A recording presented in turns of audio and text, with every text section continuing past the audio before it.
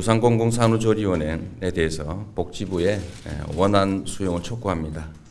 불수용 결정은 복지의 퇴보이자 지방자치의 침해입니다. 시민 여러분, 성남시가 의료 공공성 강화 정책의 하나로 추진하고 있는 무상 공공 산후조리원 운영 및 산후조리비 지원 사업에 대해서 우려했던 바와 같이 보건복지부가 반대를 하고 나섰습니다. 성남시는 의료, 교육, 안전 등 3대 영역의 공공성 강화를 인선 6기 시정 최우선 과제로 설정한 바 있습니다. 이에 맞추어 지난 3월 16일 무상공공산후조리원 정책 발표 후 조례 제정, 예산 확보 등을 차질 없이 준비해왔고 사회보장기본법에 따라 두 차례 협의조정위원회 참석과 3차례 추가 부안자료 제출 등 보건복지부와 협의에 성실히 임해왔습니다. 그런데 보건복지부는 2015년 6월 19일 정책 수용을 거부하고 국무총리실 사회보장위원회에 상정한다고 통보했습니다. 또한 6월 어, 22일 보도자료를 통해서 이 입장을 재확인하면서 타당성을 인정할 수 없다는 등 초법적인 주장을 반복하고 있습니다. 보건복지부의 이런 태도는 지방정부 발목 잡기를 통한 복지정책의 퇴보이자 주민에 의해 구성된 헌법상의 지방자치단체를 자신의 산하기관쯤으로 여기는 지방자치 훼손 행위입니다. 성남시는 100만 시민과 함께 모라토리엄을 졸업하고 재정 건전화를 이뤄냈으며 그 성과를 바탕으로 시민 복지 확대를 위해 그리고 저출산 극복이라는 정부 방침에 따라 산후조리 지원을 준비해 왔습니다. 성남시가 이 사업을 위해 중앙정부에 예산 지원을 요청한 것도 아니고 빚을 내거나 세금을 더 걷지도 않습니다. 오로지 주어진 예산을 아끼고 아껴서 추진하는 사업입니다.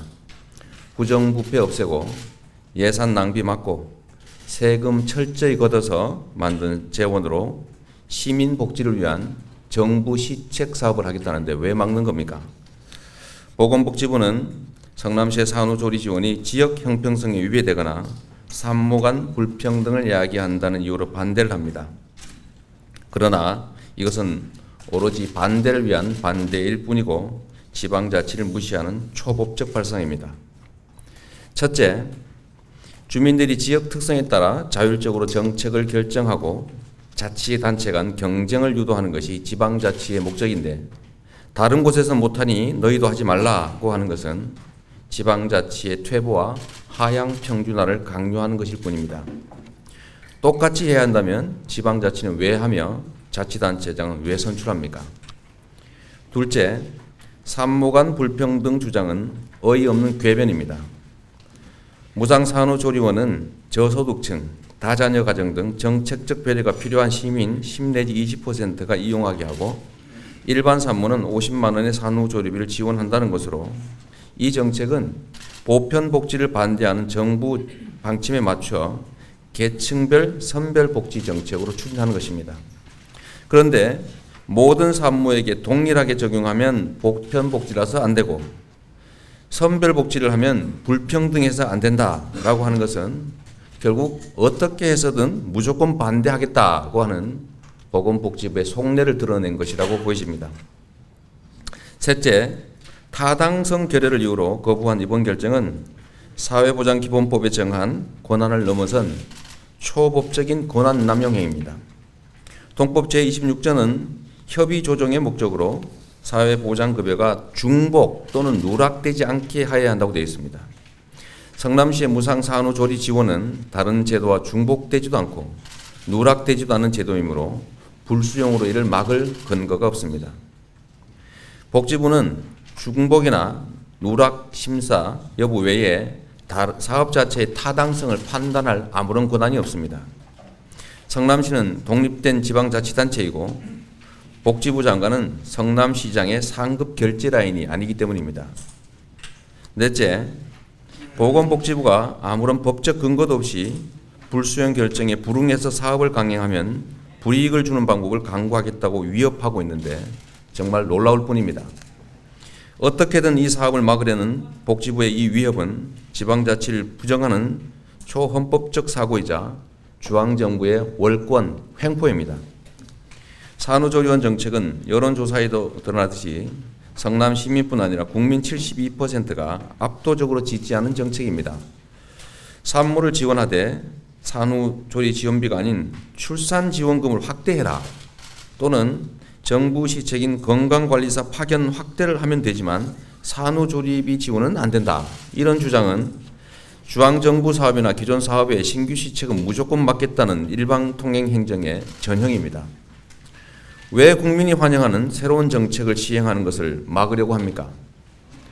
국가 시책에 부합하는 자치단체 출산 장려 시책을 권장해도 모자랄 복지부가 자체적으로 하겠다는 산후조리 지원을 끝까지 막으면 복지 후퇴부라는 오명을 쓰게 될 겁니다. 복지부가 막을 것은 성남시의 모범적 출산 장려 정책이 아니고 메르스나 아니면 복지 후퇴입니다. 절출산 고령 사회 기본법에 명시된 것처럼 국민의 임신 출산에 소요되는 경제적 부담을 경감하기 위해 필요한 시책을 강구하는 것은 국가와 지방자치단체의 책임이자 의무입니다. OECD 최하위권인 저출산 문제는 대한민국의 존망이 걸린 사안이고 여야, 중앙, 지방을 떠나 온 나라가 총력을 기울여 해결해야 될 최우선적 과제입니다. 다시 한번 무상산후조리 지원 정책에 대한 보건복지부의 사회보장위원회 회부 취소와 원안 수용을 강력히 촉구합니다. 시민 여러분, 더 이상 경제적인 이유로 출산이 고통이 되어서는 안 됩니다.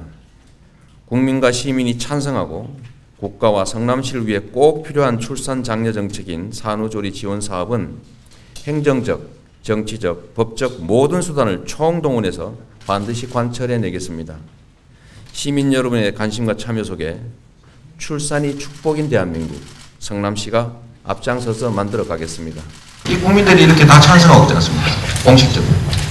전 국민이 거의 대부분이 찬성합니다. 성남 시민도 다 찬성합니다. 또 정부가 하는 시책 사업입니다.